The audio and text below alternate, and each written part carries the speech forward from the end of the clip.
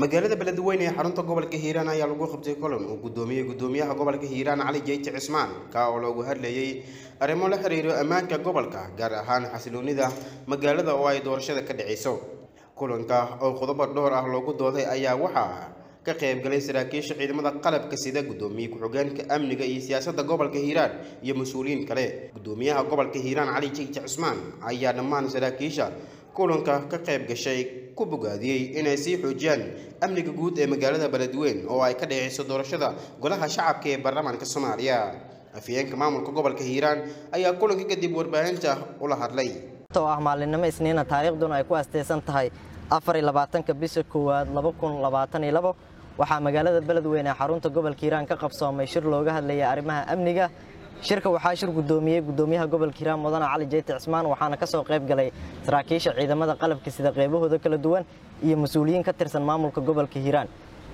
Shirka ayaa inta badan waxaa lagu gorfeeyey sidii loo sii laba jibaari lahaa xasiloonida guud ee magaalada beledweyne loogana hortegi lahaa falalka iyo wax kasta oo qalqalgelin kara ammaanka guud ee magaalada loogana hortegi lahaa loogana feejignaan lahaa kooxaha argagixisada ah ee al-shabaab waxaa kale oo shirka intii lagu guda jiray lagu gorfeeyey sidii loo dhiirin gelin lahaa ciidamada qalabka sida ee howlgallada iyo weliba dadaalada isdabajooga ah ka wada guud ahaan gobolka hiiraan.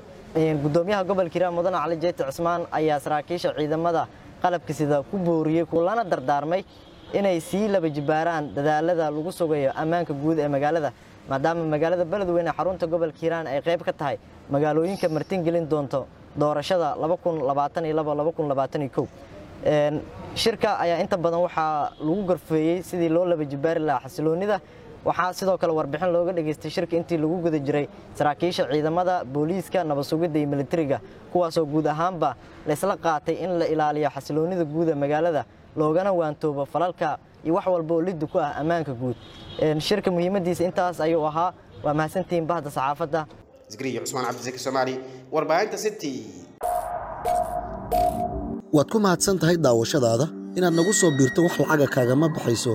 Keliya waxaad u baahan tahay inaad falow saarto boggeenna facebook ama aad sabskraib dhahdo janaalkeenna youtube adigoo bartilmaamaydsanaya city somaali t v an rediyo la jaanqaad warbaahinteenna oo hel warar iyo barnaamijyo adiga kaa hadlaya